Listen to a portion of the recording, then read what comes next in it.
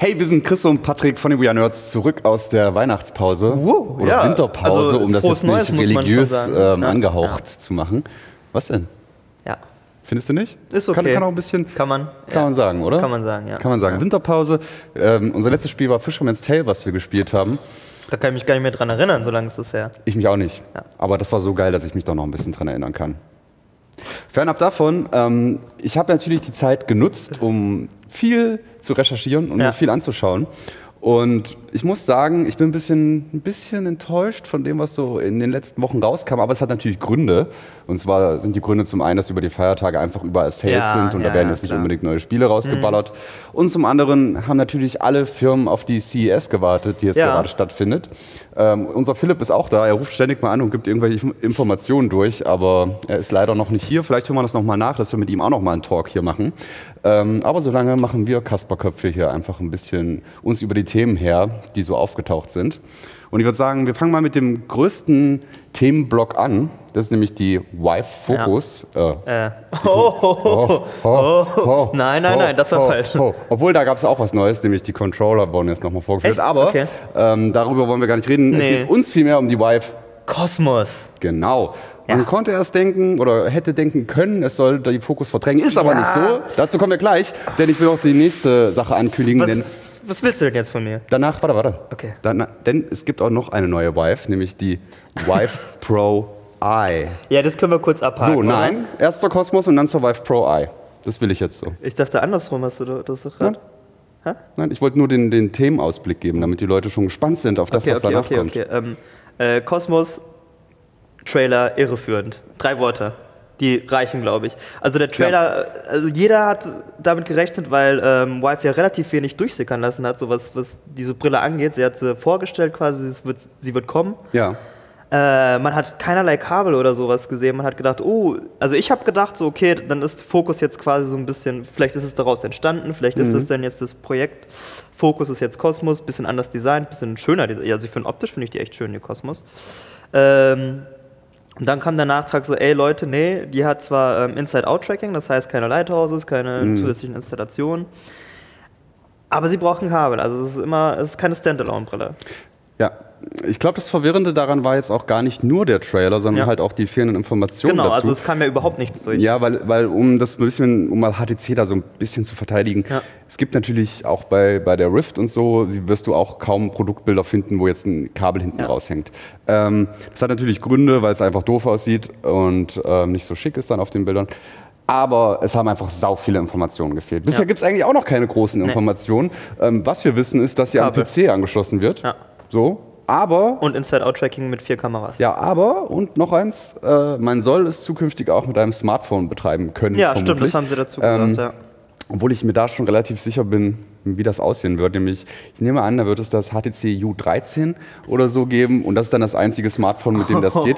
So, oh, Ich lehne mich ja- weit aus dem Fenster. Ja, ja, klar, das ist schon sehr, sehr weit spekuliert. Also, Ja, aber wie soll es sonst sein? Ne? Also, Ja, weil das Smartphone wird dann eine Viveport-Anbindung haben ähm, und dieses Smartphone muss ja auch einen Anschluss haben, der dafür Mhm. Vorbereitet ist, mit der Brille zusammenzuarbeiten. Ähm, kann man über USB-C wahrscheinlich machen, aber ich glaube nicht, dass das neue Flaggschiff von Samsung als ähm, Schnittstelle dienen wird für diese Brille. Kann ich mir nicht vorstellen. Ähm, von daher denke ich mal, es wird sich auf die HTC-Geräte beschränken. Äh, somit bleibt es eigentlich, und das sagen sie ja auch, eine Brille in erster Linie für zu Hause, aber auch für unterwegs. Ja. Aber ich glaube, dieses aber auch für unterwegs ist auch eher so gemeint, dass ich halt, guck mal, bei der Vive aktuell muss ich halt die Lighthouses mitnehmen, theoretisch bla bla bla, das macht kein Mensch. Nee, so das ist die kann ich in eine Hand nehmen mit Controller, Ja. so ein Paket, kann ich mitnehmen, Rucksack, weg, Ja. Freunde, aufbauen, fertig. Ja. Das ist natürlich ganz cool. Ähm, aber was mich halt so, so irritiert hat und weswegen ich auch erst dachte, es wäre eine, eine autarke Brille, Ja. ist, dass ich überhaupt keinen Markt dafür sehe. So, also, ja, ja, ja, ja. Also ich glaube, sie soll so als Konkurrenz für die Odyssey so ein bisschen Ja, eingestuft werden. Aber die Frage ist, warum so? Also die Windows Mixed Reality Brillen liefern ja genau das, was die jetzt bringen sollen, mit hochklappbarem Display und sowas. Wobei das für mich schon so ein bisschen Andeutung war auf äh, PC gebunden vielleicht. Aber wegen egal. Hochklappen. Äh, ja, weil du halt oft am Rechner halt was machen musst. Ja, und und bei den Mixed. Reality Brillen ist das schon ziemlich Und wenn cool, dich in der du so U-Bahn wer anspricht, ist es nicht cool, die hochzuklappen? Ja, würde ich so abziehen. Aber egal, das ist jetzt so eine Nebensache. Ähm, ja, also diesen Markt gibt es halt schon. Ich vermute mal, dass die einfach nur eine Konkurrenz zu den Windows Mixed Reality Brillen sein wollen. Ja, und es ist ja auch okay. HTC kommt ja, Ja. irgendwo her, wo Ja. man irgendwie auch, also der Smartphone-Markt ist ja auch so, ähm, schauen wir mal Samsung mit ihrer Produktpalette an, m, kommen ja auch jedes Jahr 20 Modelle raus. Ja. So. Von mir aus kann auch HTC jedes Jahr 20 VR-Brillen rausbringen. Bin ich fein mit. So. Und diese ganze, das ganze Wave SDK soll jetzt auch so aufgebaut sein, dass es wirklich über alle Brillen hinweg funktioniert. Das heißt, Okay. ich entwickle für eine. Brille und kann es für alle nutzen. Super. Auch geil. Aber äh, mir wird es nicht ganz klar, weil sie haben eine gute PC-Brille. So, Ja. Die hat sich gut verkauft. Ähm, und jetzt kommt noch eine PC-Brille, die, lass mich kurz ausreden, vermutlich, würde ich zumindest annehmen, von den Specs her ja nicht deutlich ähm, besser ist als die aktuellen. Sprich, ich habe äh, wahrscheinlich ein ähnliches Display von der Auflösung. Ja. Da wird nicht viel kommen. Da wird jetzt nicht auf einmal ein ein 8K-Display verbaut sein. Ich vermute mal, weil Sie haben ja auch gesagt, dass es mehr Verbraucher adressiert sein soll, Mhm. dass es ein bisschen, vielleicht sogar ein bisschen abgespeckt zu Vive sein wird und es dafür, vielleicht probieren Sie den Schritt auf ein bisschen günstiger zu gehen und sparen dafür ein paar Sachen ein. Ich weiß, Oh also boy. natürlich, ja, HTC günstiger, ja, das ist Oh, im Clinch so ein oh, bisschen. oh, oh. Ähm, das ist meine kleine Hoffnung. Ich hoffe, ich, ah, also jetzt mal im, im Preissegment von der Odyssey, ich weiß nicht, ob sie teurer Das- wird. Das ist nämlich auch ein großes Problem. Sagen wir Und mal, die Odyssey kriegst du ja zum Beispiel. Das, das kommt, oder das, das, das Tolle an der Brille ist, dass ich sie leicht mitnehmen kann. Ja. Das können die Windows Mixed Reality Brillen auch. ja, super easy. Super easy. Und ich habe, ist nicht der Standardpreis, aber ich habe zum Beispiel im letzten Jahr mir eine Lenovo Mixed Reality Brille für 99 Euro gekauft. Wahnsinn, oder? So. Ja. Und aktuell sind die auch immer wieder im Angebot für Ja. 199 Euro. Jetzt alles bei, bei, bei allen Sachen, die man sich irgendwie vorstellen kann, 199 Euro äh, werden sie einfach nicht schaffen. Ja. Und das wird auch nicht gehen, dass sie das irgendwo in diesem Bereich bekommen. Ja. Und dementsprechend denke ich mal, dass wir eher so bei 500, 600 Euro liegen und damit kann man einfach nicht arbeiten. Also das macht von vorne bis hinten keinen Sinn, ähm, weil einfach die anderen dann so viel günstiger sind. Und Ja. dann lass die Qualität ruhig ein bisschen besser sein. Davon haben wir nicht viel. So, also nee, meiner also Meinung nach. Es war, es war so, so ein kleiner Schockmoment. Also ich habe erstmal diese News gesehen mit, ey, Kosmos und ich dachte, ja, okay, coole autarke Brille, das ist sie jetzt. Und Das dann kommt, geschrieben, dann, ne? dann, dann kommt die News so, nee, wird Kabel gebunden. Ja. Und ich so, hä? Vielleicht gibt Aber es ja auch gibt noch eine Überraschung im Hintergrund, ne? Ja, also, sie haben ja noch eine Überraschung im Programm auch gleich gehabt. Nämlich, es gibt jetzt eine Neuauflage der Vive Pro. So, und damit ist nicht die Vive Pro McLaren Edition gemeint. Nein. Falls du dich erinnerst. Googelt es. Damit ist die äh, Vive Pro Eye gemeint. Das ist quasi eine Vive Pro, die einfach noch Eye-Tracking hat. Ähm, der Vorteil darin liegt natürlich, dass man Sachen im ähm, genauen Blickpunkt höher rendern kann mit Foveated Rendering. ja, das ist, das ist ein mit wichtiger Punkt, ne? Oder Das ist das Einzige, was man damit eigentlich machen kann. Also meiner Meinung nach, weil Menüauswahl und so macht mit Eye-Tracking keinen Spaß. Kann, also macht mir Nee, keinen nee, Spaß. nee, nee, nee. Ähm, weil man viel nicht. zu krass fixieren muss. Und Darum man, man merkt das mal, nicht. wenn man so Eye-Tracking benutzt hat, dass das Fixieren von einem Punkt dauerhaft extrem anstrengend ist. Und wenn ich dann Mhm. Ja. diesen Punkt fixiere und sage jetzt, jetzt will ich nach rechts, um das auszuwählen, das ist mega schwer. Ja. Ähm, weil das Auge springt auch immer so ein bisschen. Nee, das ist überhaupt nicht cool. Aber Foveated Rendering soll auch geil aussehen, weil man dann Perform halt soll halt Performance hauptsächlich sparen, ne? ja, nicht nur das. Du kannst ja auch äh, in dem Blickbereich dann Ja. wirklich äh, Super Sampling auf 800-fach drehen ähm, und den Rest halt total ausblurren. So, ähm, Ja. Das soll ganz gut sein. Ist halt eher für, für Unternehmen. Es ist absolut businessbezogen. Ja. Also, also der Privatnutzer wird sich das, wenn er eine Vive Nein. hat, wenn er eine Vive Pro hat, pff, niemals. Nein. Und die Vive Pro Also- kostet, glaube ich, immer noch 1,3 ungefähr. Ja, ich und- und ich denke mal, die Vive Pro Eye kostet dann 1,5, 1,6. Ja. Ähm, von daher ist nichts für Konsumenten, ist Nee. was für Unternehmen, die damit ähm, Visualisierung vielleicht zeigen wollen und so, wo es dann auch wirklich wichtig ist, dass das richtig geil aussieht. Ja. Ähm, kennst du das ja selbst bei unseren Kunden, ist es immer wichtig, dass die Produkte besonders schön aussehen. Super wichtig, ja. Super wichtig. Ja, ähm, das ist. Wichtiger als Interaktion. Ja, das ist. Also, das war für Prost. mich so. Die, die ganze Vive-Präsentation war bei mir so ein bisschen. Musste ich erstmal sacken lassen. Die haben wieder groß was angekündigt, aber irgendwie war es im Endeffekt doch weniger. Ja. Also, Cosmos, klar, eine neue Brille ist cool. Aber die Frage ist jetzt halt, wohin mit, wohin mit dieser Brille? Nein, ich bin ja auch Fan von, von neuen Sachen und, Ja. und, und probiere das gerne aus und alles. So auch die Odyssey Plus und so gefällt mir auch sehr gut. Und wahrscheinlich wird die auch qualitativ nicht schlecht sein. Ich glaube auch nicht, Ich, ja. ich weiß nur nicht, ob sich ähm, HTC damit so, so einen richtig großen Gefallen tut, weil ich, ich, ich weiß noch nicht, für wen jetzt die Brille der Ja. Faktor sein soll, der, der sich dann sagt, so, oh, auf die habe ich jetzt gewartet. Mhm. Ähm, damit wir noch ein, schnell ein Thema abhaken, Oculus, Preiskarte 50 Euro, glaube ich jetzt weniger wieder.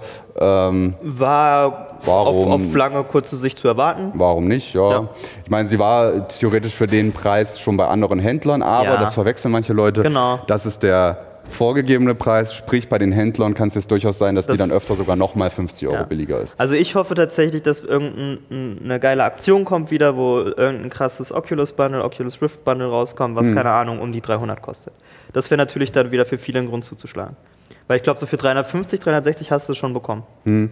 Obwohl ich mir immer noch nicht sicher bin, ob der Preis jetzt, ob, ob, also ob das für den Konsumenten den Braten im Moment noch fett macht. Also ja, ja, die- ja, das- ja, ja. Ich, Die 50 Euro hin oder her, wer wirklich Virtual Reality haben will, ich glaube, der, der hat jetzt nicht drauf gewartet, dass die Brille jetzt 50 Euro billiger wird.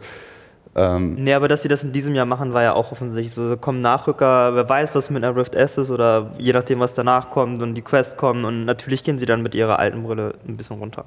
Ja.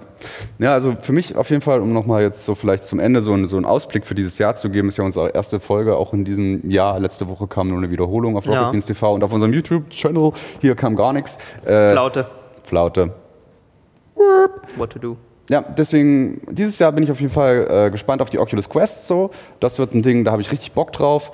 Vive Cosmos werde ich mir anschauen, Ja. ist aber wahrscheinlich nicht das Highlight des Jahres. Ähm, Vive Pro Eye Der, werden wir haben am Ende Ja, hier ähm, und wahrscheinlich schon, ausprobieren, aber gut, braucht keiner.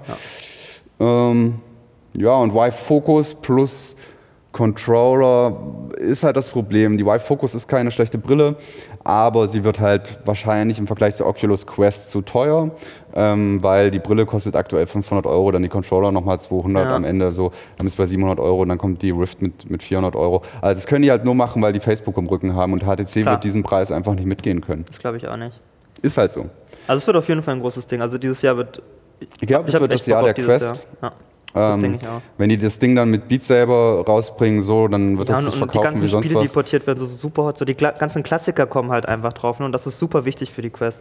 Ja, und diese Sachen funktionieren auch, glaube ich, daran ganz gut. Ich meine, wir vergleichen das ja immer so ein bisschen mit der Switch, ne? Also dieses autarke Ding. Und die Switch ist ja auch mit einer der erfolgreichsten Konsolen, obwohl sie natürlich weniger Leistung als eine Xbox oder eine Playstation hat. Ja, und wenn es so läuft, wie bei mir, also wenn die Quest bei mir so gut ankommt wie die Switch, dann Ja. wird es auch so sein, dass ich mir echt viele Spiele kaufe, die ich da nie spiele. Ja. Ähm, So, muss, so muss das laufen, so muss es laufen. Kauft alle Spiele der Welt. und dann spielt sie nicht. Nee, So, aber ihr habt sie. Ja, ja, Ja. ja. Geht, geht mir dann leider echt oft so, dass ich denke, ey, für unterwegs voll geil und dann bin ich nie unterwegs. bist du nie unterwegs. Ne? Ja, mach mal, mach mal was, unternimm mal was. Ja, aber ja, mit der Quest wird es ja noch schwieriger. Die machst du ja natürlich nicht unbedingt in der Bahn an und stellst dich dann das, ins das, Abteil. glaub- das glaube ich auch nicht. Nee, nee, nee. Beat Saber in der Bahn. Ja. Ja, falls ihr Ah. nicht wisst, von was wir überhaupt reden, Beat Saber, Pipapo, dann schaut doch mal in den äh, Archiven von Rocket Beans. Da gibt es eine coole Folge ähm, von Kogi zu Beat Saber. Und wir hatten auch letztens eine zum VIHQ, wo wir gerade sitzen, gedreht. Ähm, Ja. Beides tolle Folgen. Die war jetzt noch nicht online, wird aber auch demnächst als VOD online sein. Vielleicht, wenn ihr diese Sendung seht, ist es schon online. Deswegen, ich denke, das reicht für diese Woche. Wir Ja, wissen jetzt, was auch. uns dieses Jahr erwartet. Wir wissen, was die CES gebracht hat. Ich denke mal, damit kann man sich erstmal entspannt zurücklehnen und einfach das Jahr auf sich zukommen lassen. Der Meinung bin ich auch. Ja. Dann haut rein. Bis nächste Woche. Wir sind Chris und Patrick. Ciao. Ciao.